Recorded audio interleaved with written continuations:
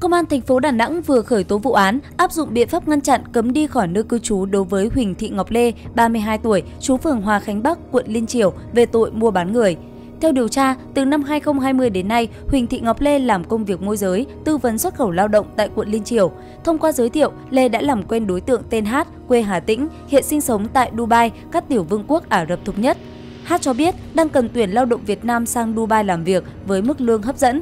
Lê được giao phụ trách việc đăng thông tin, tư vấn và nhận hồ sơ, tiền từ người lao động ở Việt Nam để gửi cho Hát.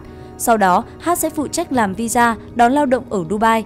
Điều kiện đưa ra là Hát thu của Lê 1.000 USD một lao động, còn Lê thu bao nhiêu của lao động thì người này không can thiệp. Theo đó, Lê đã đưa 5 lao động xuất cảnh đi Dubai qua cửa khẩu sân bay Nội Bài, Hà Nội. Khi đến Dubai, 5 lao động được Hát đón, bố trí đến một công ty do người Trung Quốc làm chủ để làm việc. Tại đây, các nạn nhân bị cưỡng bức lao động và bị ép làm công việc lừa đảo qua mạng Internet. Khi phát hiện công việc không đúng cam kết, các nạn nhân và gia đình liên tục đòi Lê đưa về nước nhưng bị từ chối.